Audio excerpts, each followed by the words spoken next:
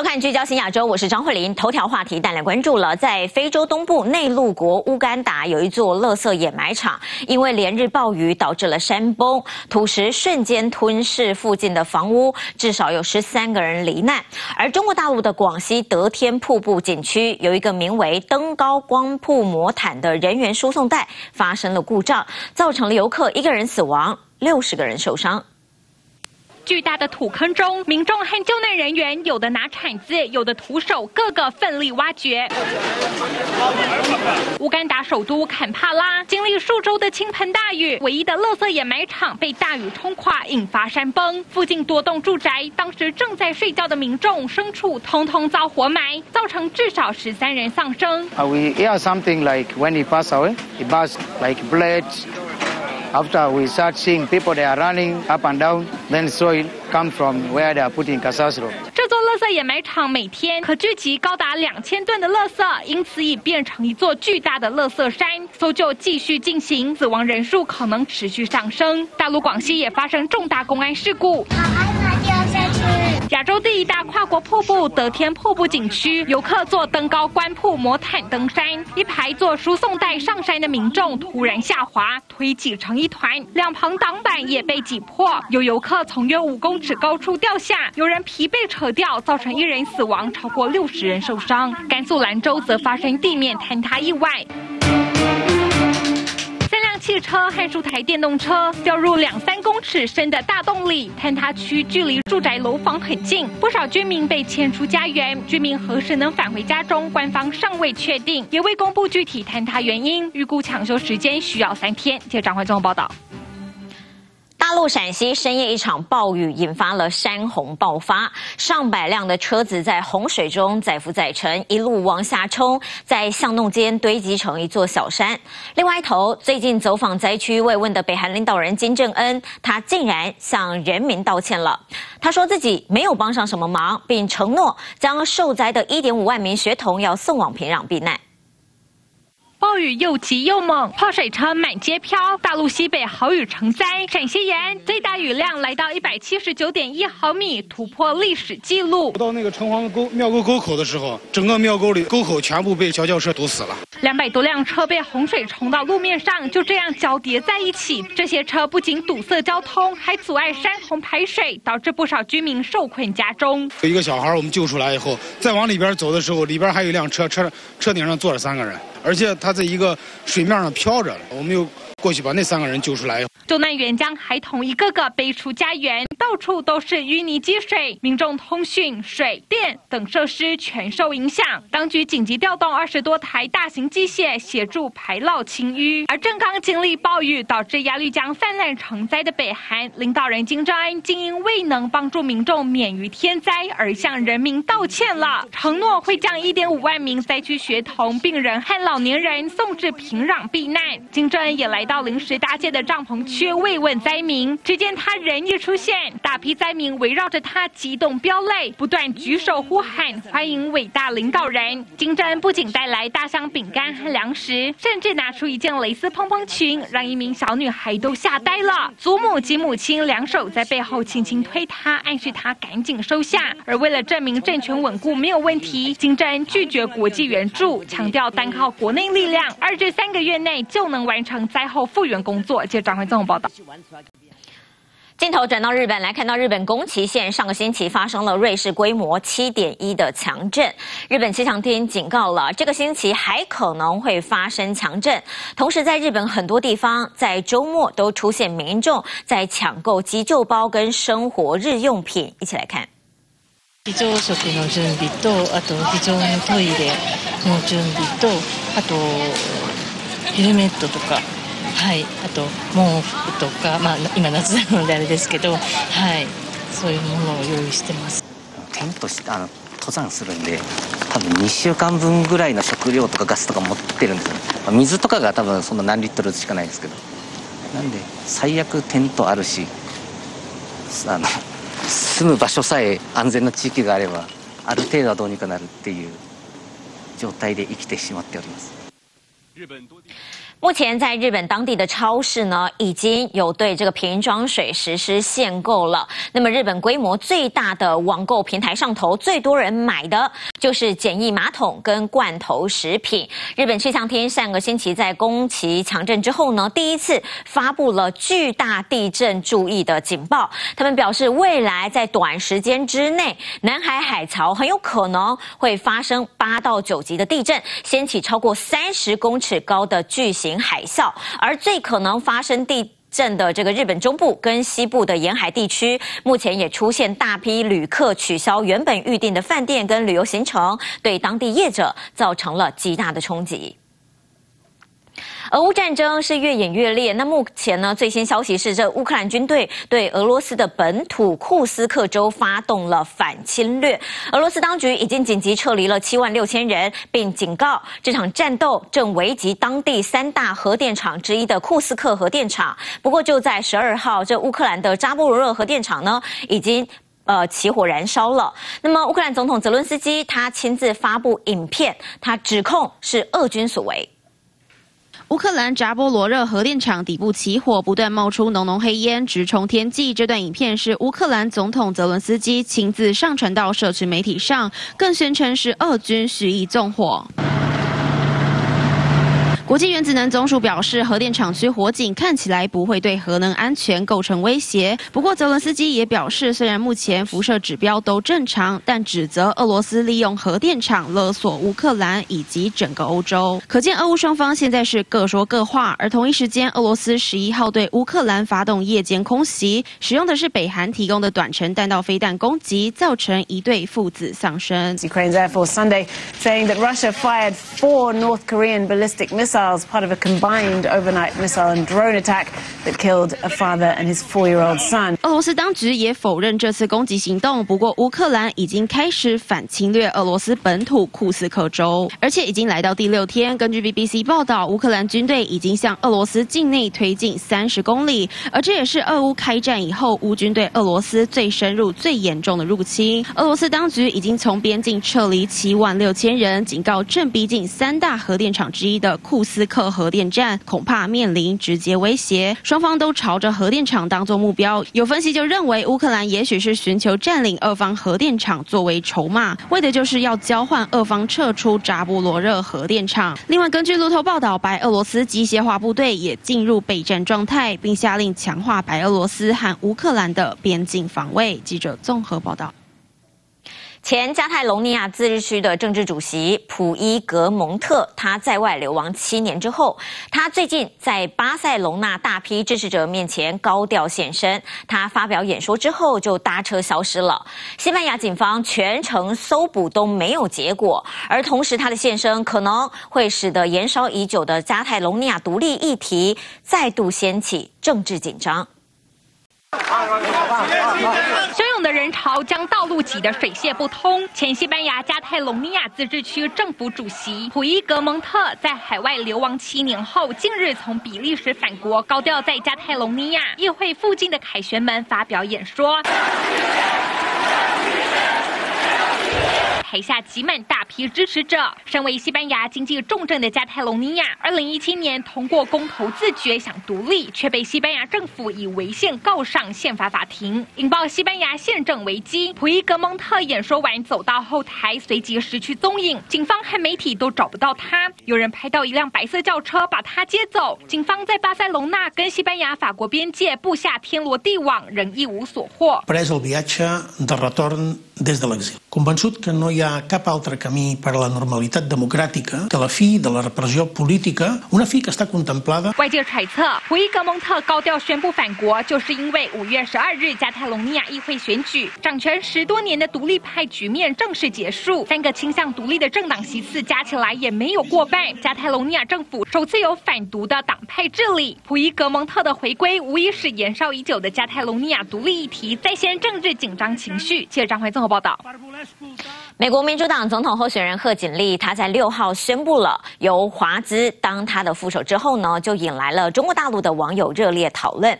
华资在中国大陆的经历，他曾经在广东佛山第一中学任教一年，那么校友对他赞不绝口，表示他随和好相处，非常受到师生的欢迎。而华资亲民的特质跟背景，也被认为是民主党吸引中西部选票的一大助力。Better yet, beat the hell out of him at the ballot box. Beat the hell out of him at the ballot 刚刚获得提名为民主党副总统候选人的明尼苏达州州长华兹与贺锦丽一同在亚利桑那州演说，群众达到竞选以来最多的一点五万人。华兹的全国知名度虽然不高，但身为坚定的自由派，形象和蔼、平易近人，有别于以往民主党给人距离感的精英形象。华兹也受到大陆网友青睐，因为他在一九八九年拿到教育学士学位后，前往中国大陆，在广东佛山一中任教一年，后来多次与妻子重返大陆。当时的旧照也在网上曝光，并有校友回忆，华兹开朗爱笑，生活简单，很受学生欢迎。因为他的名字是 Tim，师生还帮他取了阿天这个绰号。对于这段往事，华兹曾表示，会选择去中国是因为他正在崛起。不过这样的经历也成了共和党攻击焦点。This is a guy who's proposed shipping more manufacturing jobs to China. Who wants to make the American people more reliant on garbage energy instead of good American energy, and has proposed defunding the police just as Kamala Harris does. 虽然在选举期间强烈反中气氛下，熟悉中国未必能加分，但许多分析认为，民主党要保住白宫，绝对不能失守中西部的蓝墙。而华兹的特质更接近中西部选民，有助于争取郊区、城郊甚至农村选民的支持。另外，贺锦丽竞选团队表示，在宣布华兹担任副总统候选人后，他们的募款金额已经增加了超过两千万美元。记者综合报道。八十一岁的美国总统拜登在退选之后第一场的电视访谈当中，他自曝退选内幕。他说自己是在民主党同僚的施压之下才会放弃角逐连任美国总统。同时，拜登更特别点名了前议长佩洛西，他疑似在暗示就是佩洛西主导党内施压，让他必须做出退选的决定。美国总统拜登在七月二十一号宣布放弃角逐连任后，经过快一个月的沉默，终于忍不住接受访问，公开退选内幕。Um, the polls we had showed that it was neck and neck race, would have been down to the wire. But what happened was uh, a number of my Democratic colleagues in the House and Senate thought that I was going to hurt him in the races 拜登在退选后首场电视访谈中直言披露，他是在民主党同僚压力下，以及决心看到前总统川普败选，才会突然放弃角逐连任。话锋一转，他点名前联邦众议院议长佩洛西是主事者之一。I was concerned if I stayed in the race, that would be the topic. You'd be interviewing me about why did Nancy Pelosi say, why did someone, and uh, I thought it'd be a real distraction. 美国总统大选战情日渐激烈，然而前总统川普阵营的内部机密邮件日前经传遭骇客入侵外流，当中内容包含共和党副总统参选人范斯的背景调查报告。对此，川普阵营向媒体表示，这是敌对的外国势力透过不当的管道窃取文件，企图干涉2024的总统大选。美国副总统贺锦丽选择明尼苏达州州长华兹作为副。手后数小时，纽约商标律师埃什当初在二零二零年约台币两百九十二元购入的赫华佩网域，日前以约折合台币四十八万七千一百二十六元的价格出售，整整翻涨了一千六百六十八倍，很赚一笔大选财。记者新片于北京报道。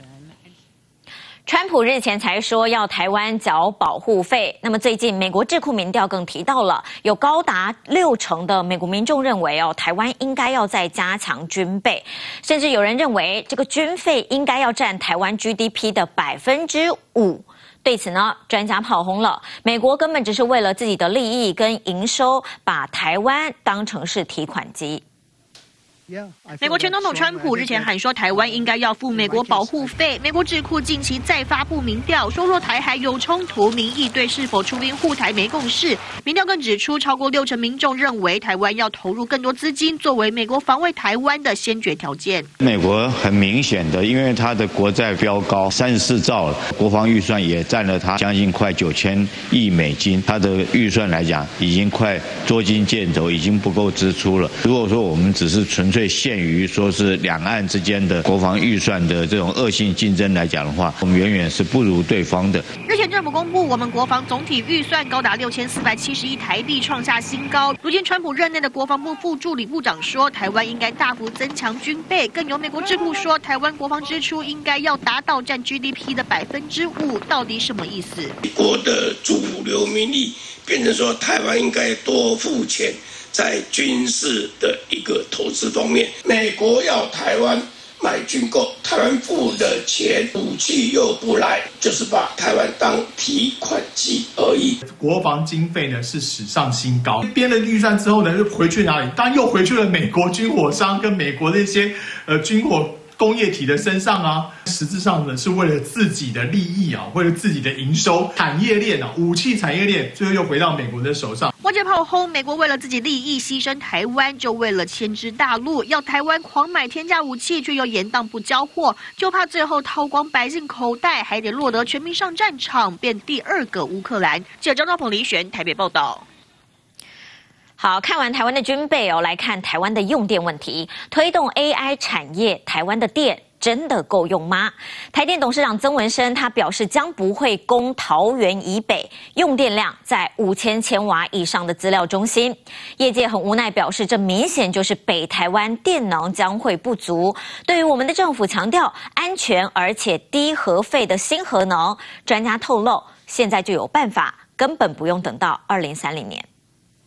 台湾跳电停电频传，民进党政府却不愿承认缺电，眼看 AI 产业将是未来发展重点。台电董事长曾文生却表示，为了减缓输电瓶颈，桃园以北的地区已不再合供五千千瓦以上的资料中心，等于断送了首都圈的 AI 发展，显现出未来台北的电能将会不足。我建议政府呢，核二核三应该继续启用，包括核四，是不是也考虑能够来继续使用？台湾的核电出过什么问题？没有哎，天天告诉我们会爆炸会。什么？我这个几十年来，他没有出问题过啊！没有电，台湾的 IT 产业是下不去的嘛？AI 产业搞不下去了。总统赖清德日前强调，飞核家园并非民进党的意识形态，而是当年朝野共识写进环境基本法的国家法定目标。行政院长卓荣泰也再度重申开放态度。我们对于新的未来的新核能技术，当然采取开放的态度。台湾能跟上世界潮流吗？赖政府提出前提，要确保核安，解决核废料。专家给了方向。我们在讲新的核能技术的时候。主要有两个，那第一个就是小型反应器，那第二个就是第四代的核反应器。目前国际趋势，小型模组化核反应炉 SMR 技术，发电量可达三十万千瓦，不仅安全性高，核废料也更少，但最快要二零三零年才会商转完成。而大陆在使用的最新第四代核电机组，发电量同样落在二十五到三十万千瓦，一样具备高安全性以及更少的核废料，甚至现在就已经开始供电，等于高安全低核废的新技术已经摆在眼前。他们这个。使用的燃料的纯度比较高啊，所以它核废料的总量就会比较小。那我们国家对于核废料的处理，其实都有一些既有的机制存在。那我们国家也设定要在二零五五年设置这个最终处置厂，按照这个管制标准来进行的话，核废料不是问题啊。专家喊话：若不把握在眼前的新技术，恐怕等不到二零三零，缺电跟内耗就已经让台湾错失产业转型的契机。记者张思李炫云台北报道。公示脸书上的小编传出了将脸书粉砖的盈利汇入他私人的账户，而且时间长达三年。不过对此呢，公示却只记了一大过，那么还钱了事。在党炮轰了公广集团拿人民的纳税钱，他们的员工坚守自盗，公示竟然还消极处理。二零二四巴黎奥运如火如荼进行，公网集团的公式转播却出大包。赛评明知转播的是女子举重，看到奈及利亚选手出场，却调侃这个是男的还是女的，网友怒轰发言超不当。中华队选手曾因为性别问题受到攻击，为何公司还犯这种低级错误？我们要保护我们自己的选手，结果我们自己的公共电视集团这么不小心，不要让人家觉得你有性别的歧视，或者是有种族的歧视。但公司争议不止这桩。负责公视 Plus 以及公视台语台脸书粉专的小编，竟然将公用脸书盈利汇入到自己私人账户，私吞公款长达三年，遭到调查还不透露自己就是账号持有者，直到今年七月才归还公款。夸张的是，公司竟然只记大过了事，完全没有走法律程序。现在连犯罪都不用开除了吗？我们现在活在一个哦法律时代啊，绿是绿色的绿啊，所以小编的这个背景，我敢打包票，我们去查查出来，一定又是什么皇亲国戚。小编本身就是。台湾价值满满的深绿媒体出身的深绿人，所以也许他的这个发言，公司高层还看了，觉得政治正确，讲得非常棒。网友狂轰：难道偷了钱还回去就不算偷吗？公广集团领国家薪水，拿纳税人钱，员工坚守自盗，竟然只这样处理？而且之前公示台语台的脸书小编多次在官方粉专制图，表面上向台语教学，但被认为是在暗讽柯文哲、韩国瑜等在野党的政治人物。近来公示更播罢良影片，只给了谢国良短短十四秒回应，蓝军炮轰。公司根本不演了，完全绿化。现在公共电视已经成为特定政党的打手跟侧翼，不伦不类，更不专业，用人民的纳税钱把公视养成了绿卫兵、新党媒。明明该要客观公正，但公司爆出连串争议，让人不禁好奇，背后是不是有只手将公广集团染了色？这是吴品珍采访报道。台湾的政治话题，民众党史主席柯文哲陷入了总统大选政治现金假账疑云。那目前有两家公司大动作声明，他说他们没有收到申报资料的三笔款项金额，大约是九百一十六万。对此，柯文哲今天上午面对记者这个不断的追问哦，他表示今天下午记者会上他会说明，还一度说你们知道我会发脾气。那另外一头呢，这个柯文哲竞选当时总干事哦。这个陈志涵他透露了，之前以为有一些款项单据遗失了，但现在找到了。整起事件是会计师跟财务部的错，竞选总部跟会计师会负起责任。没有睡好吗？睡得很好吗？看似一脸轻松，但面对记者追问，柯文哲忍不住了。有查到发票怎么来的吗？这间公司听说是空头公司，说陈志涵是对口。好，你怎么看？小草说请阿北，叫什么钱跟他们说一声。你正好会发脾气哦，跟你讲。就算真的发脾气，也还是没交代三笔竞选经费支出共九百一十六万元，为何申报有假？传出民众党定调，没人 A 钱是低级错误。这款项的单据似乎有遗失的状况，但所幸经过了清查之后都找出来了。在报账的环节当中，会计师出了错，我们自己的财务部门也出了错，竞选总部这边也必须要负责。那会计师这边的责任呢？今天我们也会非常清楚的来向大家说明。不过钱的问题又被抓包，有个时间公司去年改名之后，三个月内拿到科办三笔影音制作宣传费，一共一千万元。根据四查猫的连连看，时间粉丝团追踪三个目标，其中一个是马来西亚账号，只有一个台湾好友，而这个人的脸书好友名单只有九个，其中一位就是陈志涵。在这个时间公司，他们所承包的相关业务当中，他们做了影片，他们做的影片要上架到柯文哲的社群，然后这家公司想要下广告，所以我才帮忙接了这个所谓的加了他的脸书好友，让他们去下广告。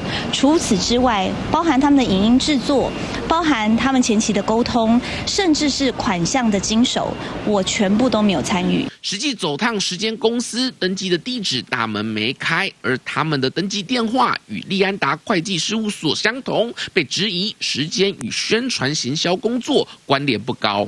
我认为这应该要去请时间公司的这个他们的负责人出来说清楚，如何更名，然后呢又有什么样的资本的投入，这个东西也跟柯文哲竞选团队没有关系。假装风波让柯文哲与民众党全面被火烤。记者综合报道。这一回呢，中华队在巴黎奥运得到了二金五铜的好成绩，奖牌数是史上第二多。那么今天上午又有一批奥运英雄返台了，包括了跆拳道的田心罗嘉玲。跟举重好手陈文慧等等。不过举重跟拳击争议不断，传出了将在二零二八年洛杉矶奥运可能会停办。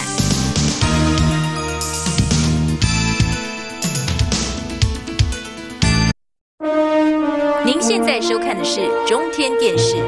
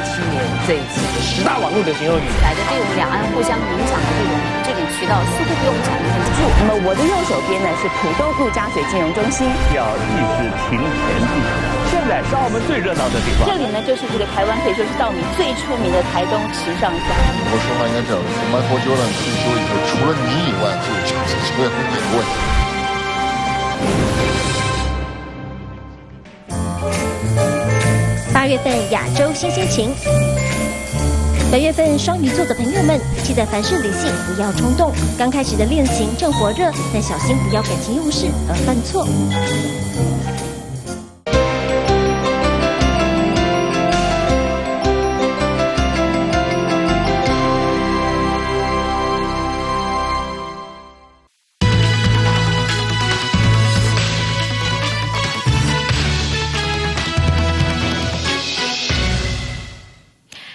中华队在巴黎奥运得到二金五铜的好成绩，奖牌数是史上第二多，一共呢发出了超过一点一亿的国光奖金。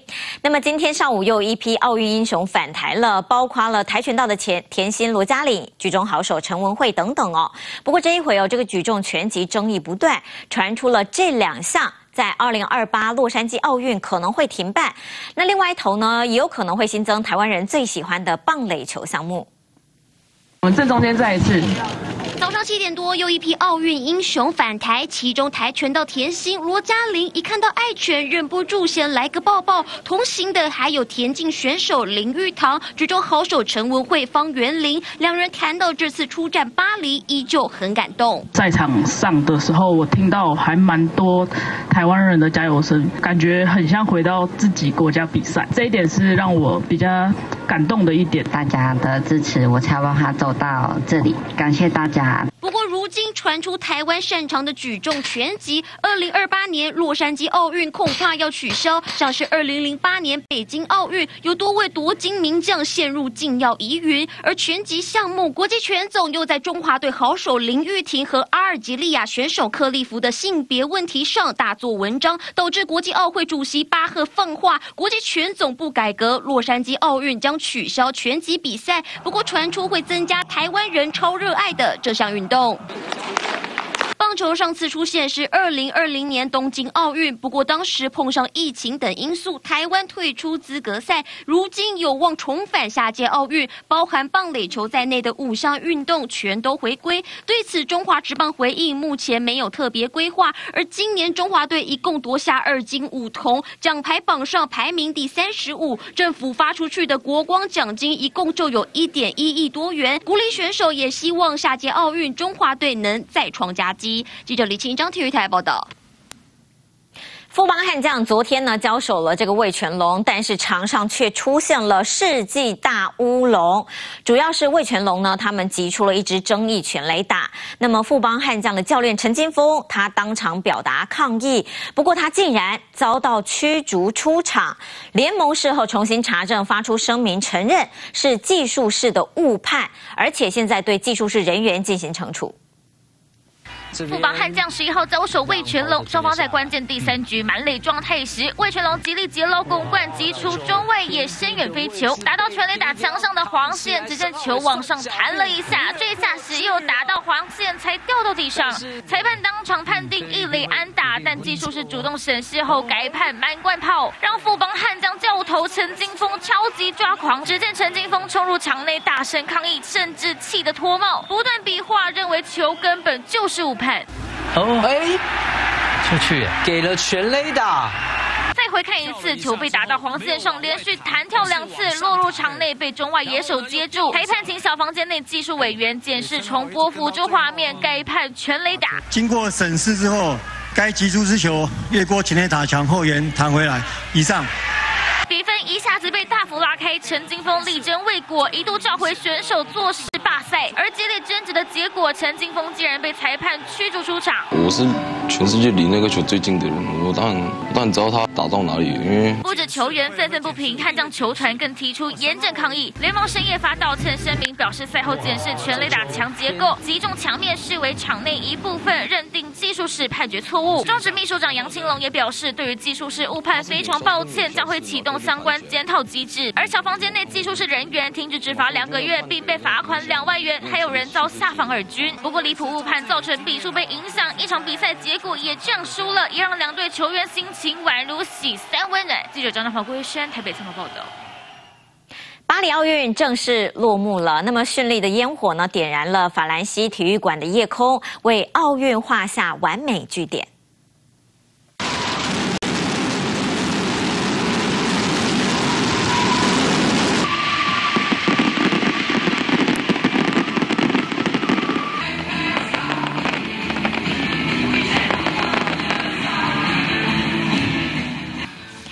这巴黎奥运结束，那么南韩首尔市长吴世勋他表示了，首尔。将要申请二零三零六年的这个奥运举办城市。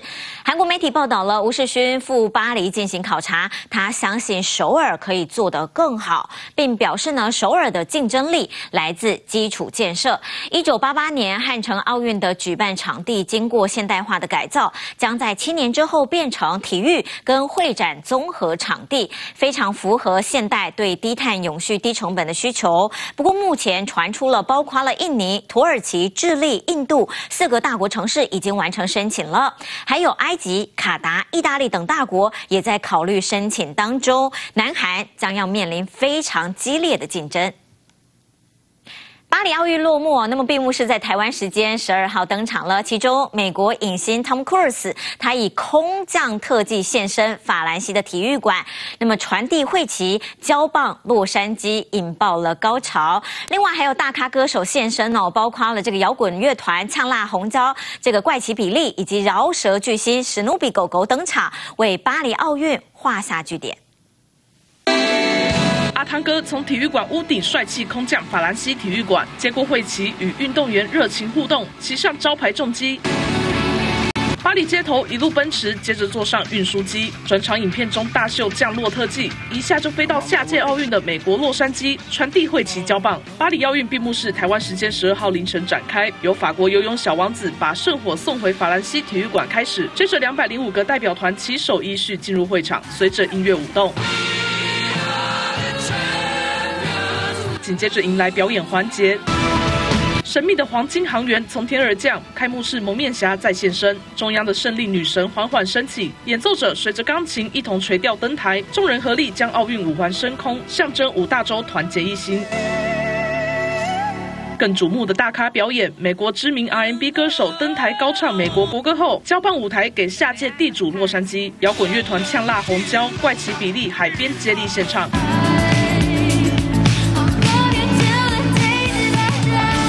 是巨星史努比狗狗也带来经典名曲，最后主舞台回到巴黎，由法国歌手演唱美法名曲，画下本届奥运句点。回到赛事，美国靠女子篮球夺金，拿下八连霸，在最后关头超车大陆，以四十金、四十四银、四十二铜，成为奖牌数最多的代表队。而几家欢乐几家愁，今年竟然有国家挂蛋，芬兰一面奖牌都没有，是史上首次。记者王旭报道。游泳选手个个肩宽腰细。倒三角人鱼线，身材个个好到爆，但是呢，竟然是因为他们要天生手长脚长，才会有资格练游泳。有谣言说这个练体操长不高，但其实哦，是因为挑选队员的时候就会预测未来的身高，父母高于一百七十公分就不太列入考虑。乌姆斯网球锦标赛强制规定要穿白色，竟然是因为要优雅，这也让人意想不到。游泳选手游完一圈跳上岸，大秀出水美肌。游泳选手个个肩宽腰细，倒三角，上半身长可以减少水中阻力。后天加强训练，薄肌肉，身材好，冰块腹肌让人羡慕。这样的人才能被游泳选中。嗯，大骨架，一米九，手长脚长，自带船桨。游泳选手赛前热身完得穿上羽绒衣保暖，因为体脂太低怕冷，穿上大外套保持状态。但穿不穿大衣成绩会差多少呢？大概差百分之零零点六。体操选手在空中甩来甩去，腾空翻滚好几圈，却有传言说练体操长不高。并不是练体操把身高压矮了，而是我们教练员在选材的时候就会选比较偏矮小一点的运动员。教练选人要看父母身高，尽量不超过一米七，还要测骨龄，预测孩子未来身高。因为身高越高，半径越大，就越翻不动。但单纯练体操拉筋，其实有助于长高。运动员的头发不能有任何掉落，否则就会被裁判扣分。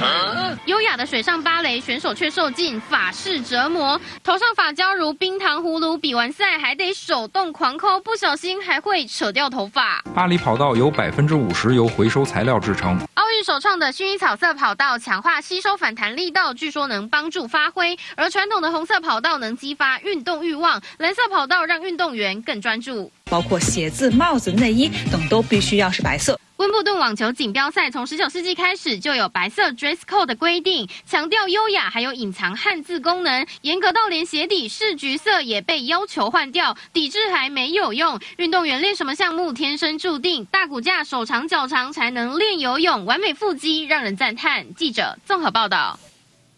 外界对迪士尼乐园的印象哦，都是充满欢乐的气氛。但如果在园区里头呢遇到紧急状况，想要在不破坏气氛的前提之下，那乐园里面有所谓的暗号黑话警示工作人员，像是 Have a magic day，代表遇到 OK。另外呢，代号维尼则是有孩子在水池里面小便。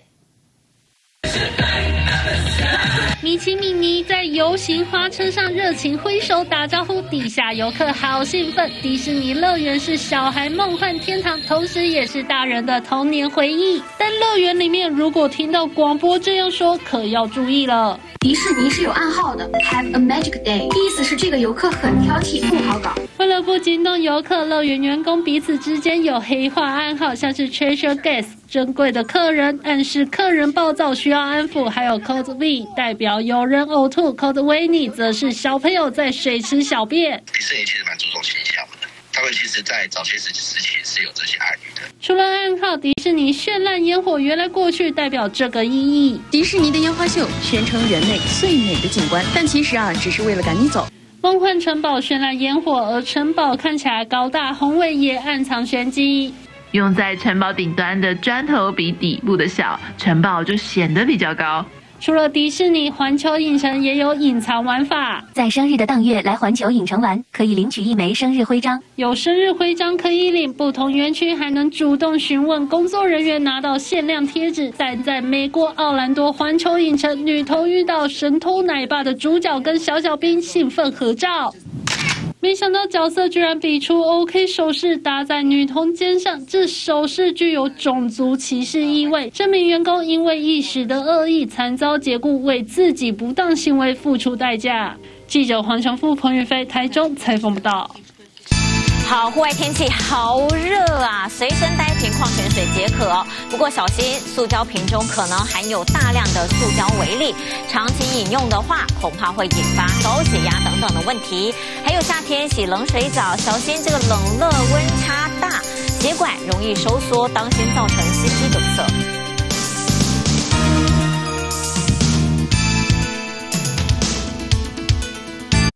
您现在收看的是中天电视。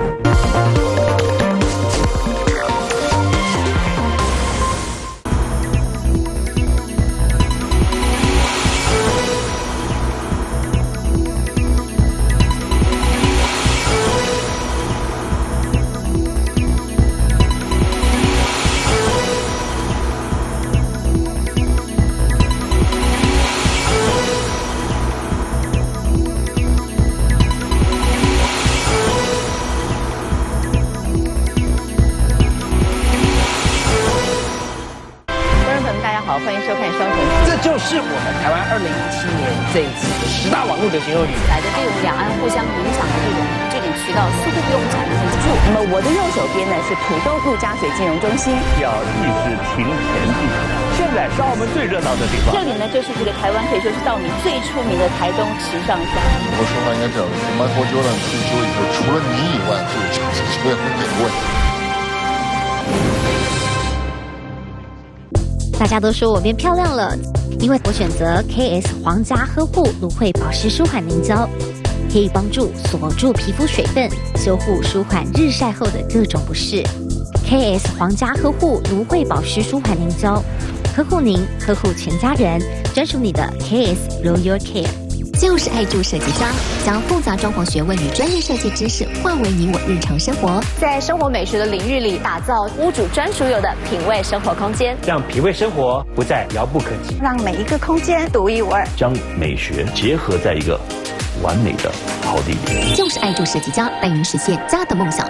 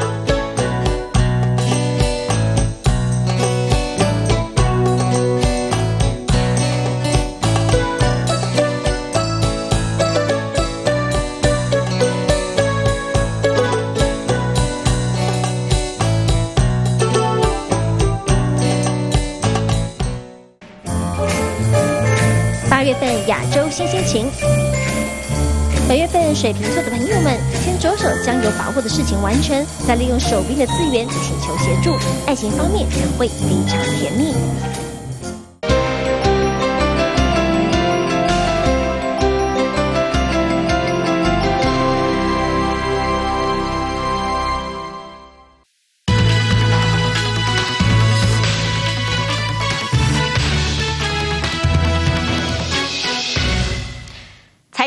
带来关注了台北外汇市市场，新台币对美元中午站以三十二点四十六元对一美元做收，贬值了零点六分，摆脱美国经济陷入衰退的疑虑，以及资本市场面对日元利差交易崩解的冲击。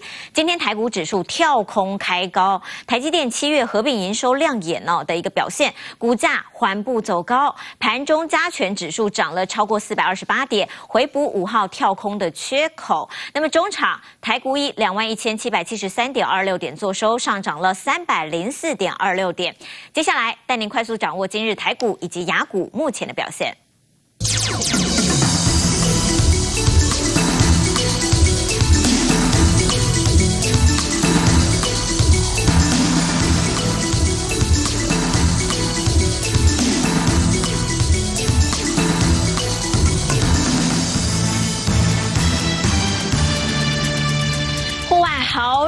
这高温动辄哦，真的是飙破三十八度。随身带一瓶矿泉水哦，运动完喝水超解渴。不过小心要注意，这个塑胶瓶中可能含有大量的塑胶微粒，长期饮用的话，恐怕会引发高血压等等的问题。另外，夏天这口干舌燥时也要注意了，不要一口气灌水太快太着急，也要小心洗冷水澡。这个冷热差异大，血管容易。收缩，当心会造成心肌梗塞。艳阳高照，户外运动完汗流浃背，瓶盖一扭，打开保特瓶，先干个几大口水，补充流失的水分。你以为再寻常不过的日常，却可能暗藏高血压危机。根据英国一份研究报告，他们找来十六名男女做实验，发现如果让他们每天只喝自来水，停止使用瓶装水，两周以后血压就会下降。而这项研究结果也是首次证实，减少使用塑胶可能有降血压的效果。塑胶经由紫外线辐射分解，产生许多小颗粒，现代生活中已经无处不在。唾液、心脏组织，甚至连胎盘都发现过微塑胶。多项研究中更证实，塑胶瓶装饮料所含微塑胶浓度最高。喝水要注意的还不只有容器，也不要一口气喝太快太急，最好分成少量多次喝水，不会突然造成身体负担。也建议不要在大热天洗冷水澡，因为高温热天血管扩张，突然的冷水让血管收缩，危险增加。喝水喝的太少的话，反而是血液的循环量不够，好比较浓稠，那这个才是有可能会引起中风的风险。水喝太多、喝太少都不行。除了水，在高温户外要进入冷气室内，也要注意突然的温度变化，免得血管突然收缩的血液波动，让意外发生。记得韩志英、陈志茂台中报道。好，说到健康哦，身体里头某一些习惯动作有可能是在传递警讯，比如说吃吃饭的时候喜欢蹲着吃，或是把脚呢抬上椅子，有可能是因为消化不好、气血不足，还有泡脚。呃，泡脚会暴汗，并不是身体好，它竟然是气血不协调。脚放下去，坐没坐相。弟弟吃饭时单脚抬上椅子，被老妈狂骂。但很多人都有这个坏习惯，吃饭不好好做，偏要蹲着吃。连女明星都喜欢蹲着吃饭，但其实吃饭喜欢缩成一团，尽可能是气血不足，也恐怕是身体消化不好。是在休息的时候呈现一个蜷缩的一个状态，是为了要保护我们的消化系统来的。趴在床上无意识狂滑手机，躲被窝也要滑，瘫在沙发上滑，还被手机狠砸头。舍不得放下手机，疯狂接收资讯，可能是焦虑引起。医生说这是不良习惯，还容易让人失神。你根本就没有给你脑袋适当的休息的时间。半夜突然超饿，狂嗑泡面超幸福，却有传言说半夜吃东西是基因觉醒，是古人为了守护部落保存体力，但恐怕不是。医生说这大概是晚餐没吃饱，或是吃太多淀粉，血糖升降太快，也有可能是压力太大才想暴饮暴食。食相关的荷尔蒙也会让你在半夜肚子饿，但要是饮食习惯不佳，长时间半夜饿要注意，可能是消化性溃疡。跟朋友出门，他却随时都想蹲下。如果不是懒惰，就有可能是气血不足，容易累。要是有贫血、眩晕，更要注意。气血比较不协调的人，就会容易流汗。热水淋下去，脚丫丫超放松。泡脚会暴汗，可不是对身体好，竟是体弱、气血不协调导致。吃东西总是想把自己缩成一团，半夜狂吃宵夜，可能是消化有问题。划手机舍不得睡，容易失神。身体会说话，可得好好解读。记者综合报道。到 KTV 唱歌总是高音上不去吗？肺活量也不够吗？观察一下这歌王歌后的技巧，他们呢很多人善用脸部的表情，比如说费玉清呢，他都会挑眉抬头；萧敬腾呢是边蹲边唱；阿令遇到高音的时候，他会皱起眉头，抬高苹果肌，那么增添歌声的层次感。而气多声小的呢喃唱法，像在耳边说悄悄话，更能深入人心。我送你离开千里之外，你无声黑白。小哥被玉清唱到高音时的特色挑眉，不只是招牌动作，也是他歌声清亮的秘密武器。专家说，学会挤眉弄眼，人人都能当歌王歌后。因为我会想起你，我是情歌，不要喉咙硬扯，眉头皱起来，抬高苹果肌，唱起高音更轻松。至于气不足，试试看这样。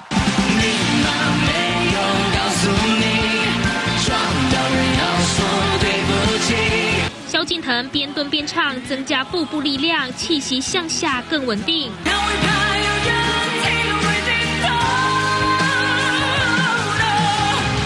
抒情歌，要掌握的是气多声小。轻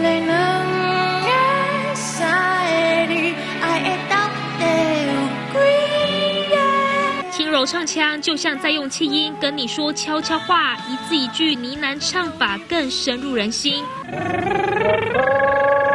邓紫棋开嗓都用打嘟练习法，能平衡声带。林俊杰登上舞台前竟然会憋尿，屁股会缩紧一点。你就会唱的比较更集中。而到了表演前几秒，不少歌手会闭上眼睛，集中注意力，酝酿情绪。不要小看各种细微的表情动作，能让你称霸整个 KTV 包厢。记者卢俊杰、林杰帮什么？好，下节新闻重点啊，带来看这个韩国女团 aespa 火辣开唱，经典夯曲也嗨翻现场。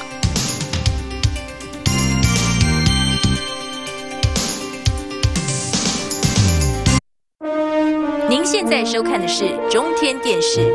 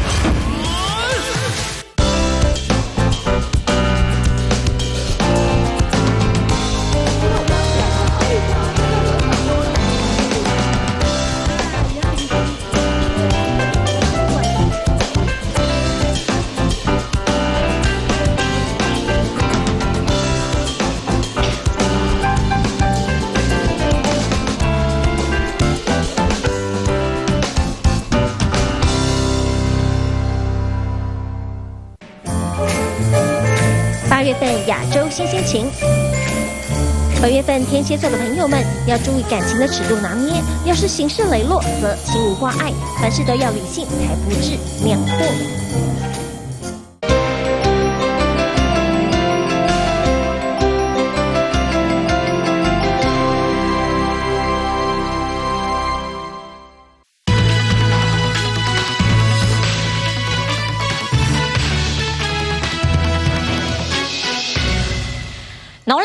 禁忌很多，像是不可以在半夜里头吹口哨、剪指甲，据说会招来不幸。但是历史老师说不是这样的。农历七月每到晚上，大家都会格外小心，生怕踩到禁忌被好兄弟找上门。古代流传晚上不要吹口哨，会引来鬼魂。大半夜剪指甲，每一刀都特别清脆响亮，据传可能会打扰到神灵或灵魂，招来不幸。晚上扫地，传说也会打扰鬼魂，但其实背后原因根本没有这么可怕。是因为它会扰民啦，而且呢，因为吹口哨这个行为不检点，家长也都不喜欢，所以才会制止小朋友。另外，剪指甲跟扫地是因为古代点油灯亮度不够，很容易在昏暗下剪到自己。而自古流传抖脚会穷，其实这穷的还真有道理。一定是坐下来才抖脚。古代的椅子都是榫卯结构，如果常常这样子抖脚去移动椅子的话，很容易就散掉。其他像是女性生理期不能去寺庙，除了宗教因素之外，其实是因为古代寺庙常在偏远地区，路不好走，体贴虚弱女性才这么说。男尊女卑现在指的是地位高低，真正含义是公正无私和谦卑包容。女子无才便是德，专家也说中间的变，古代指的应该是明辨的辨，哪怕没才学，但能明辨是非也是美德。古时禁忌有些固然是因害怕而形成，但也有些蕴藏生活智慧。记者于胜行曹文宁台北报道。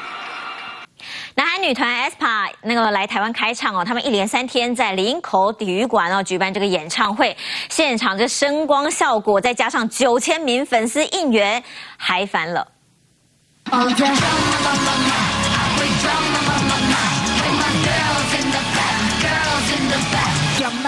开场马上带来点阅上亿的火爆神曲《Drama》，南韩大师女团 S 卡来台，现场涌入九千名粉丝大力应援。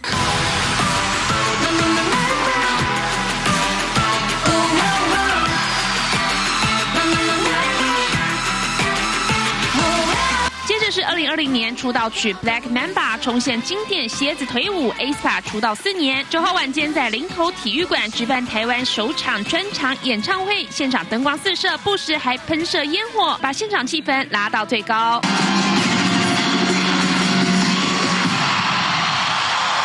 在昏暗的灯光下，翘脚出场，宛如仙女降临，搭配超震撼舞台效果，现场尖叫声不断。